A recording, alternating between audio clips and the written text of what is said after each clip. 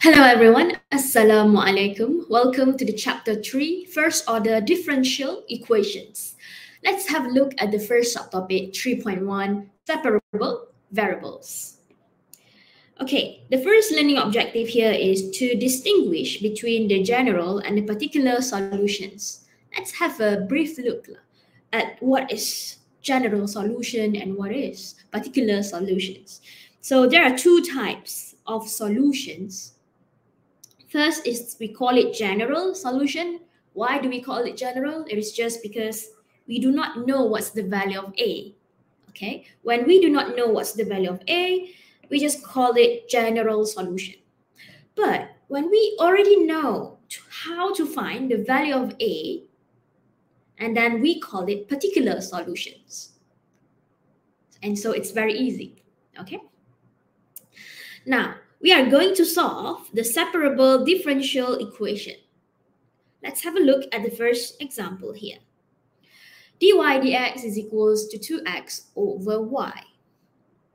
Okay, and the first step, it should be to gather the y, the dy and the y in one team.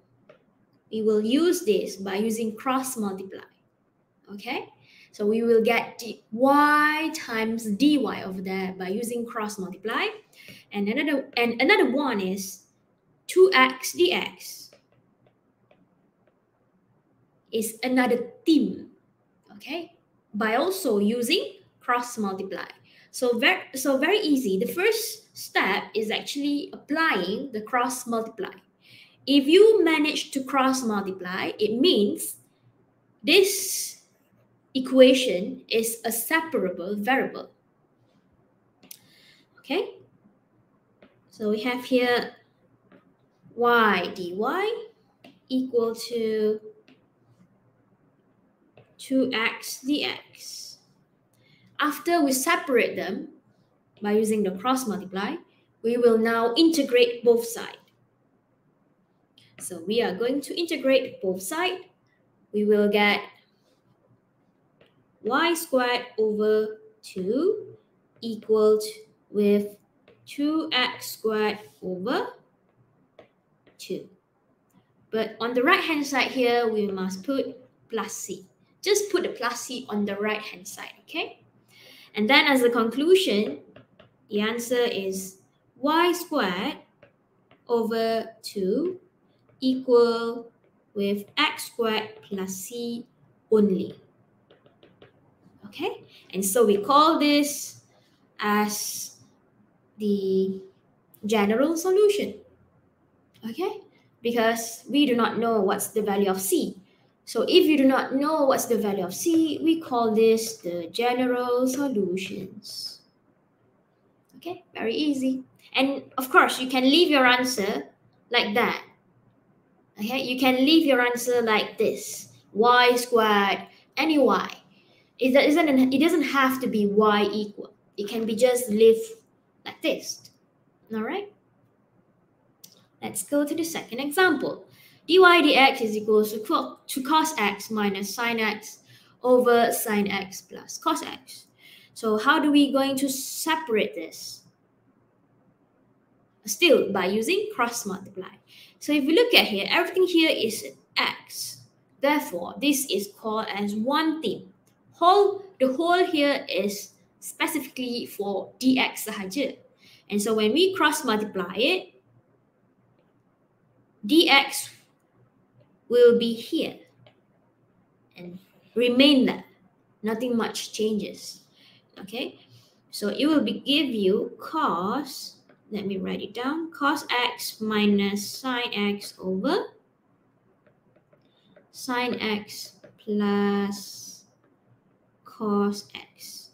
And then don't forget to put your dx because you are trying to cross multiply. That is what I got. I bring the dx above. Okay. How about dy then? dy remain on the left hand side. But when you cross multiply, it is actually the value of 1.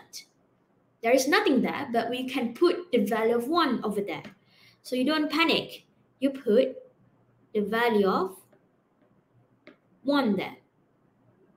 Okay, and then next step, Very easy. We just integrate both sides. When we integrate 1 dy, we will get y. Well, on the right hand side here, you have to recall back your, your, uh, your techniques of integration. What is this? Which technique is more suitable? So, so if I look at this, I know that this is actually substitution method. How do I know it so quickly? It is just because differentiate sine will get cos. Differentiate cos will get negative sine. Therefore, it is substitution. And so I will have to let u equals to sine x plus cos x. And then I integrate du, I mean I integrate u, I mean differentiate u with respect to x. And then I'll get cos x minus sine x. Okay, and then I make dx as a subject. I will get 1 over 1 over this thing dx, uh, du, sorry. And so this is my my let let do not know how should I call this, but I let it first so that I can now apply my substitution successfully. So I bring it down here a bit, integrate, cos, blah, blah, blah, copy paste. I put down the u and then I times it with my dx my dx is actually over here. And so I would like to copy them and put it here. Okay? And so, what did I get? I will now see that both of these are the same thing, isn't it? When they are the same thing, we can cut it down. So we are going to cut it. After we cut it, we will realize that we got integrate 1 over u du. See, this is actually du, all right? It has been changed from here. I think you are expert of this substitution method already, just to recall a bit. And so the answer will be y equals to ln u plus c. Don't forget to put plus c and don't forget to change back your u into becoming the, the x back. Get back your x, get back your sine x plus cos x. Put it here. And then don't forget to put plus c. Settle. This is how easy we use uh, separable. I mean, this is how easy we solve the separable variable. And remember, we call this general solution because we do not know what's the value of c. Let's move forward to the next example. We have dy dx equals to exponent x plus y. So how on earth do we separate the x and the y? Okay, don't be panic. All you have to do is just use your rules of indices which I bet you are good in it already. So you are going to separate the E X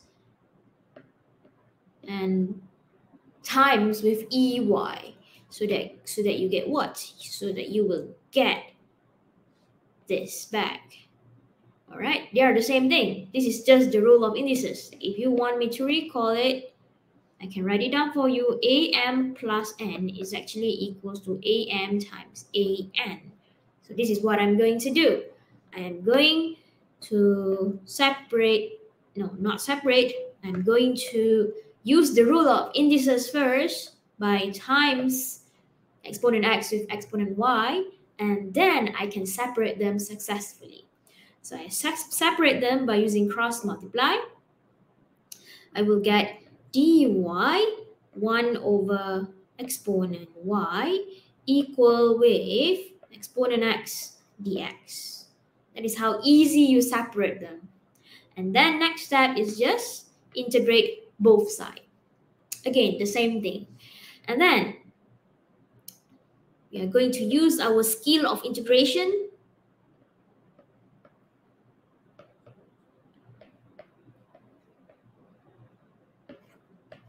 So how do we do this? Exponent negative y, we will get exponent negative y over negative equal with exponent x plus c. And so we bring the negative power down, we will get negative 1 over exponent y equals to exponent x plus c. That's it. That is our answer. You can remain it like that. You don't need to change it. You can remain the y, any y, or on the left hand side there. Leave it there. Nothing wrong for this chapter. Okay? Untuk chapter ini sajalah. Let's go to the next example. Question 4. We have this y times with x squared minus 1 dy dx equals to 1. So what I did here is I separate them. This one is a bit complex, but not too hard. So just, just focus at the y group. So this is team y. Okay, so I got that. y dy. I break, I leave it there because y should be on the left hand side, right? And then I bring this x squared minus 1 and the dx to the right hand side here so that I will get this 1 over x squared minus 1 and then dx above. So I just cross multiply. Cross multiply sahaja, nothing much. Okay, and then I integrate both sides. And then I realize that this is this is in need of partial fraction. And so I have prepared the answers. This is my solutions. I got the value of a and b, and then I insert it back into my partial fraction there. And this is my answer of the partial fraction. And now I'm ready to integrate both sides. When I integrate both sides, what do I get? I will get y squared over 2 equal with, what is this?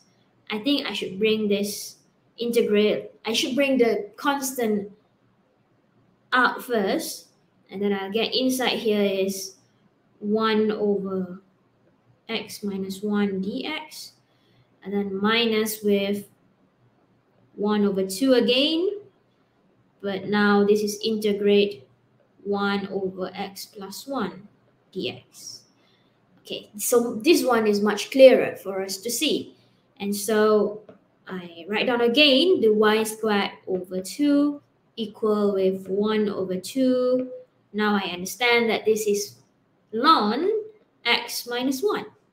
And then I put minus, and then I put 1 over 2. Integrate 1 over x plus 1 is actually ln x plus 1. And then I put plus c. Simple. And then I, what should I do then? Should I leave it like this or should I apply the law of logarithm? What do you think? So I think I want to do it a bit different. I don't want to leave my answers like that because I know the law of logarithm. So what I want to do here is I gather, I mean, I factorize my 1 over 2 first, factorize it, bring it in front. And then I got inside here is the ln x minus 1. Then put minus and then put ln x plus 1 and then I close the bracket. And then and then put plus c don't forget. And then my final answer here I will be stop I will be stopping here because I want to apply this thing. This is actually log a minus log b and it will eventually give me log a over b. So this is law of logarithms that I want to apply. which I know all of my students understand what is law of logarithm. Okay, and then let me delete this. And then here is the magic. You will only have one ln and one modulus. But this x minus 1 will be divided with x plus 1. And it will be much shorter. And then, then I put the plus c over there. Isn't it easier? Yes, it is easier. Uh, I would say it is easy. okay, I'll stop here.